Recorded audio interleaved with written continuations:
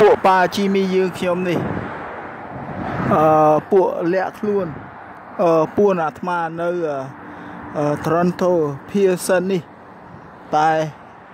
42ថ្ងៃទៀតទេនឹងបានវិលទៅដល់ប្រទេសទី4វៀតណាម Saigon Ho Chi Minh City បានហើយ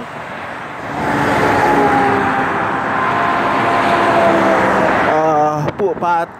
ជីមីយើងខ្ញុំនេះ ពួកនៅមានពន្លឺថ្ងៃយូរអឺពួកនៅបានប្រទេសកាណាដាយូរកុំអីនឹងឡើងលើកុំអីនឹងស្រេចកុំអីនឹងស្មើនឹង0កុំអីនឹងស្មើនឹង0អឺទីនេះហើយគឺ Toronto Pearson uh, International Airport យ៉ាអឺពួកប៉ាជីមីយើងខ្ញុំនេះ ពួកនៅមើលឃើញពលានយន្តហោះនៅធំអឺពួកប៉ាជីមីយើងខ្ញុំនេះអឺពួកនៅមើលពលានយន្តហោះនៅឃើញថាអស់ចាមហាលូតផ្លំហាអស់ចា